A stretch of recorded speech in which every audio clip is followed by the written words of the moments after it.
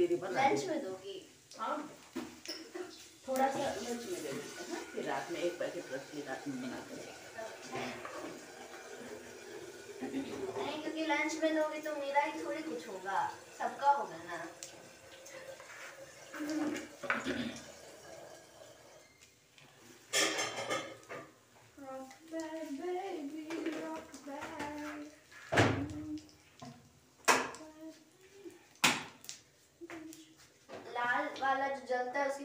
मतलब है कि हो रहा है हाँ।